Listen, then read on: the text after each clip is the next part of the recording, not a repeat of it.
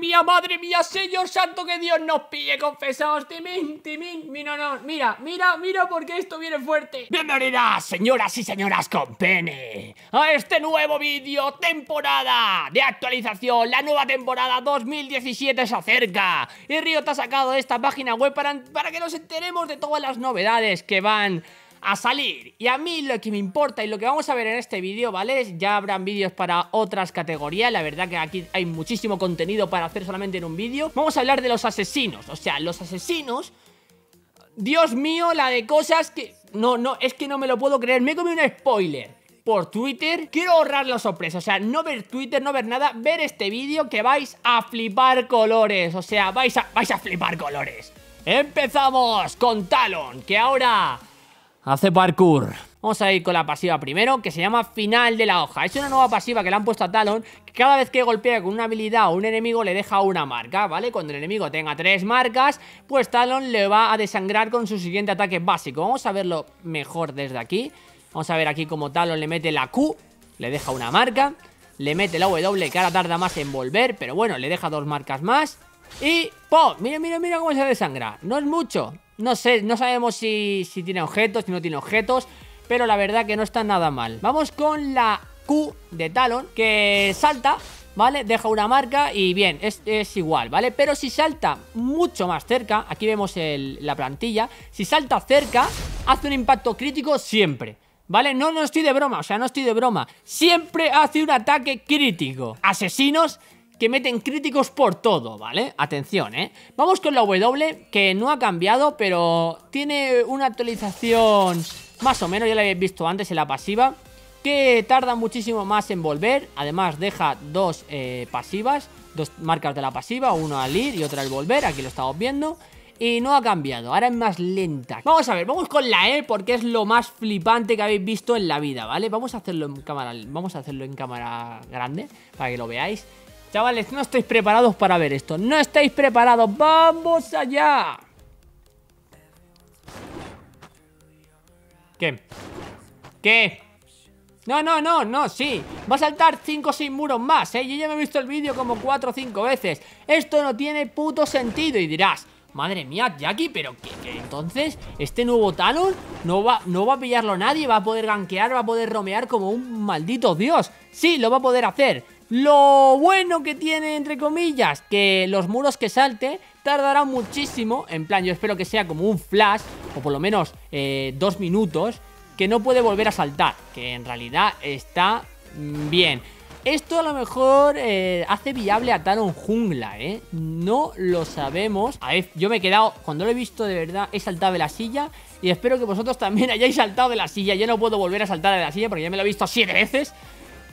Pero aún así me sorprende un poco, ¿eh? Me sorprende un poco porque esto va a estar curioso, vamos a dejarlo en curioso Ya, vamos con Rengar, ¿vale? Vale, la pasiva no ha cambiado mucho, la verdad, ¿vale? Ahora mismo, eh, cuando salta de un arbusto Lo típico que tenía la pasiva de, de, Rengar Una de las pasivas de Rengar Ahora le va a dar una marca de ferocidad La marca de ferocidad antes se obtenía dando con la Q, la W, la E Que ahora también está, ¿vale? Pero además, eh, saltar de un arbusto te da ferocidad esto combinado con el señor Iver, pues puede ser muy divertido, ¿vale? Y ahora las habilidades eh, potenciadas, por así decirlo, han cambiado levemente, ¿vale? Ha cambiado la Q. Aquí vemos como la plantilla es diferente, pega en área y hace un salto hacia adelante, un poquito como, un, como una especie de saltito, ¿no? Y la ferocidad, cuando tiene cuatro cargas de ferocidad, no ha cambiado eh, Rengar mete una hostia buena. Ahora mismo este ataque ha dejado de ser objetivo. Ahora es, lo puedes fallar.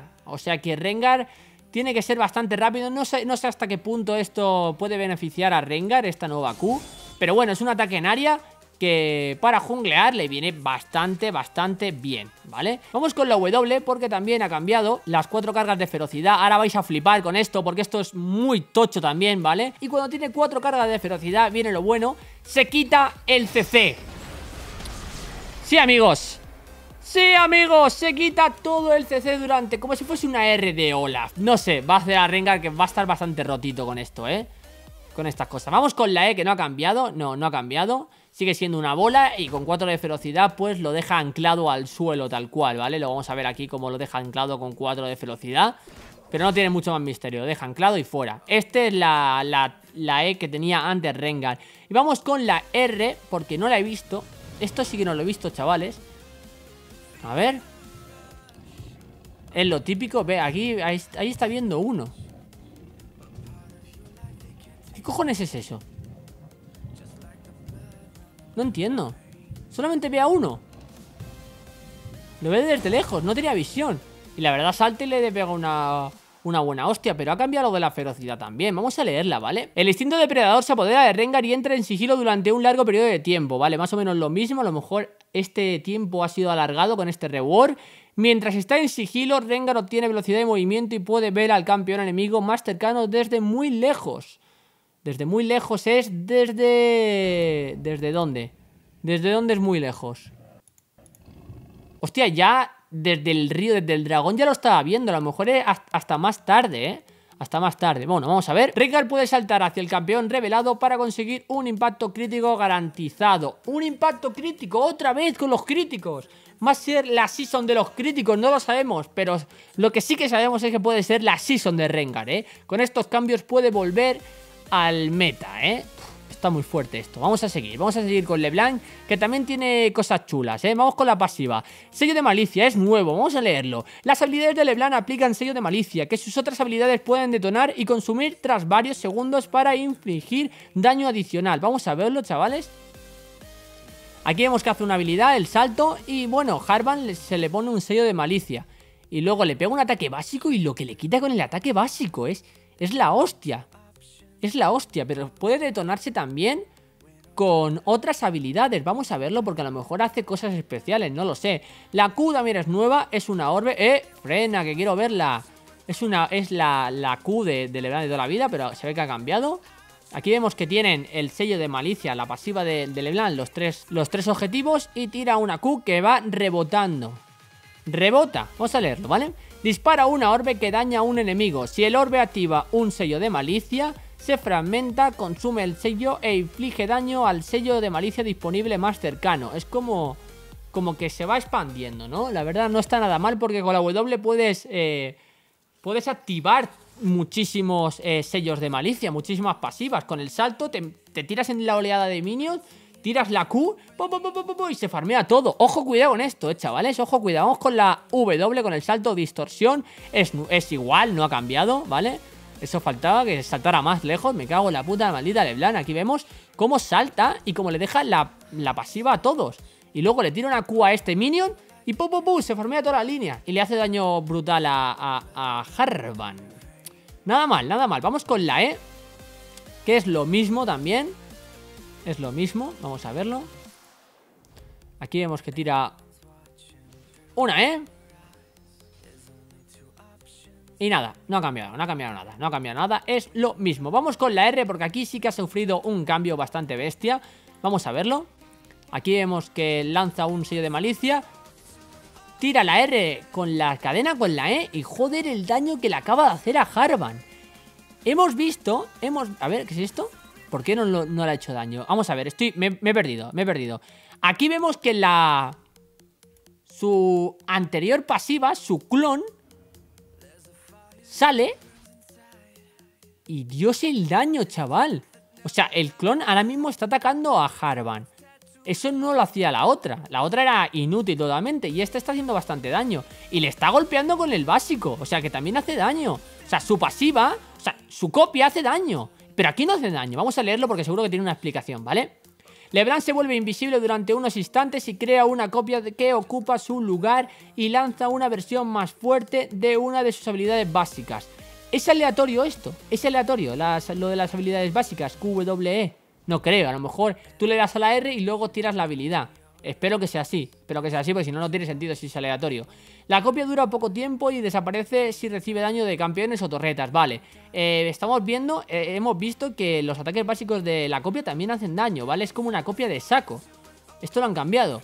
Imitar la definitiva del LeBlanc genera una copia en una ubicación seleccionada. Una vez creada, la copia caminará hacia el campeón enemigo visible más cercano y lanzará una versión no dañina de la última habilidad usada por LeBlanc tras su... Hostia, esto está muy chulo, chavales, porque puedes poner la copia, ¿vale? Tiras la R y luego la R y puedes mandar tu copia a top porque va hacia el enemigo visible más cercano que puede estar en top. Si tú estás en medio, la tiras el río hacia arriba y la Leblanc va hacia arriba, va hacia top. Y le pega un susto de la hostia porque va a tirarle una cadena que le va a dar o le va a tirar una W que le va a dar, una Q, pero no le va a dar. O sea, es como un, un engaño, ¿no? Está bastante bien porque puedes eh, hacer que gaste esta flash. Puedes hacer que gaste esta flash, ¿eh? el objetivo. Puedes trolear con esto. Esta Leblanc va a ser mucho más troll que de costumbre, ¿eh? que, ya era, que ya era troll. Nada mal, nada mal esta nueva Leblanc. Vamos a volver a verlo porque eh, quiero, ver, quiero que veáis que, que es la Leblanc la copia, ¿vale? Aquí vemos como, uno esto es lo de que hace el daño doble, ¿no? Está muy bien. Pero si tú no quieres hacer ningún boost, puedes invocar a la copia y no hace daño y luego desaparece. Pero el susto te lo llevas y vas a flashear seguro. Yo flasheo, ya te lo digo yo. Muy bien esta nueva Leblanc. Vamos con Katarina. Vamos a ir terminando. Eh, la pasiva es la misma. Lo mismo, vamos con la Q. Eh, hojas rebotante. Vamos a ver qué hace That Shit. Aquí vemos que va a tirar una daga. Rebota, como la anterior, y deja una daga ahí. ¡Uh! Y hace la W. Era la W la E. Eso era una habilidad de LeBlanc. La verdad que queda muy bonito, ¿eh? Queda muy bonito y muy loco esto, ¿eh? No está nada mal, no está nada mal esta nueva Q que rebota, ¿vale? ¿Hasta cuánto rebota? Lanza una ataque que inflige daño de mágico al objetivo y a dos enemigos cercanos, vale. Luego Katarina la recoge y hace daño mágico a un área a su alrededor, vale. Es como su W su no recuerdo ahora mismo, ¿vale? Vamos con su W, que es nuevo también. Que esta era la, la que da una vuelta. Ah, vale, vale, vale. Esto lo que hace es que tira una daga al aire y, y tiene velocidad de movimiento extra. Luego, si vuelve a agarrar la, la, daga que está en el suelo, hace como el torbellino ese, ¿vale? Esto es como una especie de pasiva, ¿no? Lo de la daga en el suelo. Aquí lo vemos que la, tira hacia adelante. Tiene velocidad de movimiento, muy poquita velocidad de movimiento, pero bueno, no está nada mal. Eh, se llama preparación, pues para algo, algo servirá. Vamos con la E. Creo que no, hay nada nuevo en la E. Es el salto de Catalina. Vamos a ver.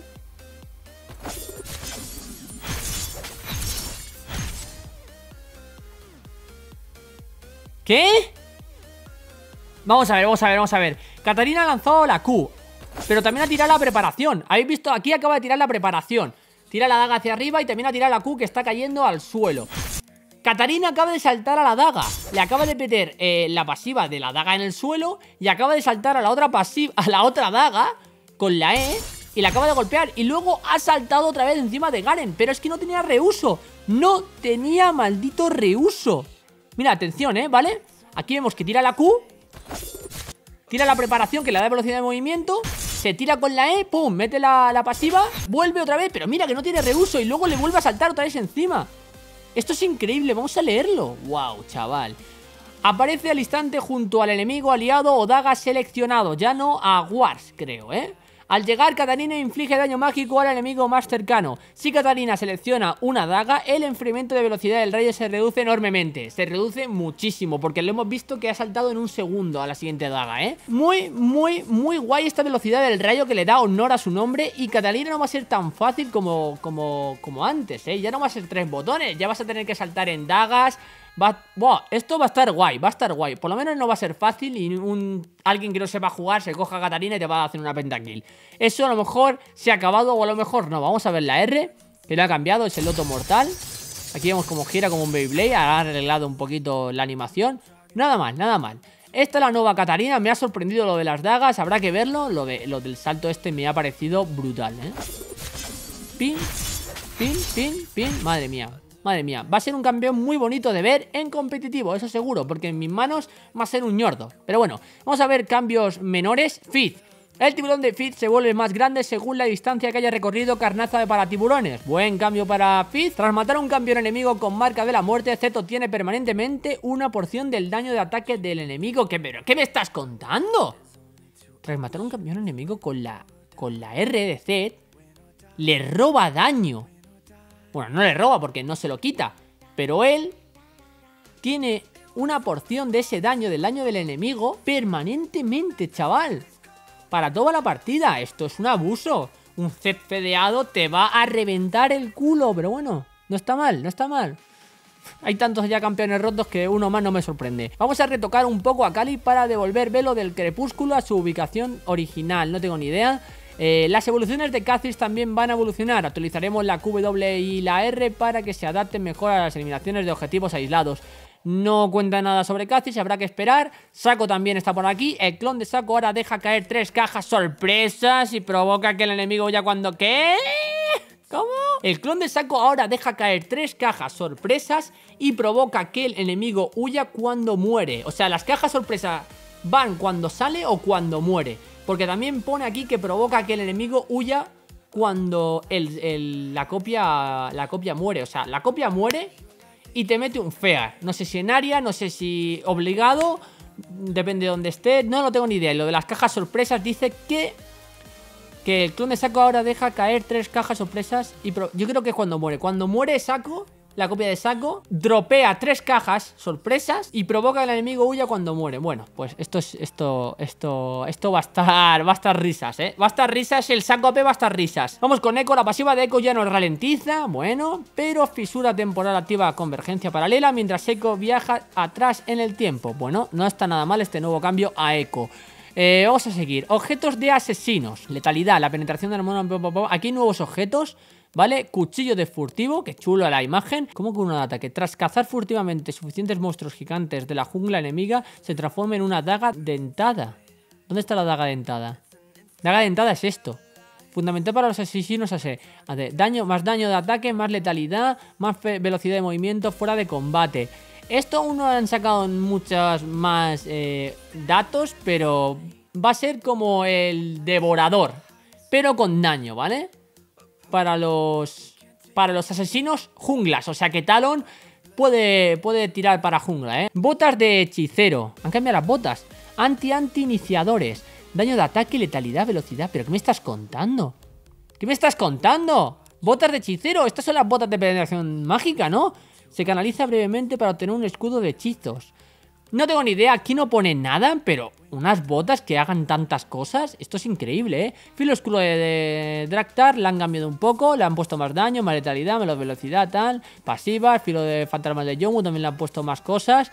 Y Fauce de Malmortius también. Esto no es para vosotros, asesinos. Mecánica del sigilo, camuflaje. Camuflaje es lo que llamamos un sigilo estratégico. Bueno, esto es un puto lío. Es más poderoso cuando se utiliza para pulular por el mapa sin que os vean, moviéndose de una víctima a otra. Evelyn ya lleva un tiempo disfrutando de esta mecánica. Vale, pues si con Twitch te acercas a un campeón enemigo, te ve, como Evelyn. Y Rengar igual. Saco no, ¿ves? Saco puede estar al lado de un campeón enemigo que se la suda, que no lo va a ver nadie, ¿vale? Invisibilidad. Eh, puede es el sigilo táctico que lo tienen gente como Wukong, Leblanc, eh, saco y demás. Guardianes de control. Ahora que Rengar y Twitch están en el campo del camuflaje, o sea que le podemos ver como a Evelyn, podemos darle de nuevo poder a los campeones con sigilo. Hemos convertido a los guardianes de visión total en una herramienta antivisión. ¿Los guardianes de control? ¿Qué? Estos guardianes siguen proporcionando su propia visión, pero también cancelan visión al revelar y desactivar guardianes y trampas enemigas cercanas, si bien no revelan a los campeones invisibles. Vale, no revela a los campeones invisibles, pero te jode toda la visión, es como un hackeo, es un warhack, es el warhack, madre mía. De verdad, esto es... Esto es un cambio muy bestia, ya sabéis que cada pretemporada nos meten cosas muy bestias y no quiero ver... No quiero ver otras cosas. Dejar un pedazo de like si queréis que os enseñe más cosas sobre, sobre la mejora del, del cliente, repeticiones. A ver lo de las repeticiones, me interesa también. Lo veremos todo más adelante, ¿vale? Y nada más. La verdad que me voy mal a la cama. Me voy con un saborcito... Me van a atacar en cualquier momento. Y hasta aquí el vídeo de los asesinos de la pretemporada. Vienen muy muy fuertes y vas a tener que llevarlos bien, ¿eh? Esto ya no son tres botones, ¿eh? Los asesinos son asesinos buenos, pero vas a tener que llevarlos bien. Así que vamos a ver qué tal evoluciona. Aquí a la derecha te dejo un vídeo y seguramente lo has visto. Y aquí a la izquierda voy a dejar mi logo para que te puedas suscribir y unirte a la familia Bronza, más grande del mundo. Nos vemos mañana en otro vídeo, que también hay parche y de todo. ¡Ay, señor! ¡Hasta luego!